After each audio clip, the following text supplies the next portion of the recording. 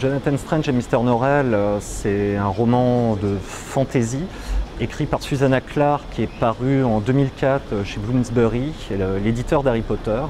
Et bien qu'il ait été publié par Bloomsbury, c'est un roman qui s'inscrit vraiment dans une veine euh, adulte de, de la fantasy.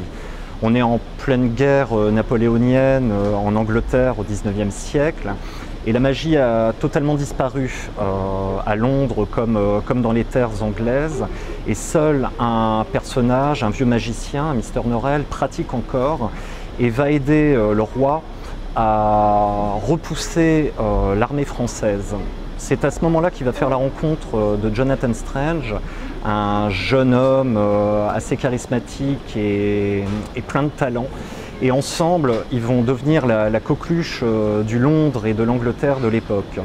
Sauf que Jonathan Strange est un personnage assez fragile, assez naïf aussi, et il va commencer à s'intéresser de près à une magie plus occulte, plus noire, euh, et notamment la magie du roi Corbeau, euh, un magicien légendaire qui pratiquait la, magie noire. À partir de ce moment-là, eh bien Mr. Norrell et Jonathan Strange vont totalement euh, se séparer et se mettre en lutte l'un contre l'autre, euh, une lutte euh, évidemment sans merci.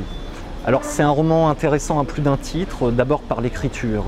Susanna Clark ne s'inscrit pas dans une veine à la Tolkien ou, à la J.K. Rowling, mais plus à une veine victorienne. Ses influences se situe plus du côté de Jane Austen ou de, Charles Dickens. Euh, c'est un roman vraiment foisonnant, truffé de, personnages, truffé de petites histoires, de légendes, euh, de légendes locales euh, anglaises. c'est un roman érudit, un roman passionnant, un roman que je conseille à la fois à tous les amateurs de fantasy, mais pas seulement aux amateurs de romans historiques et tout simplement à ceux qui aiment le romanesque et l'aventure.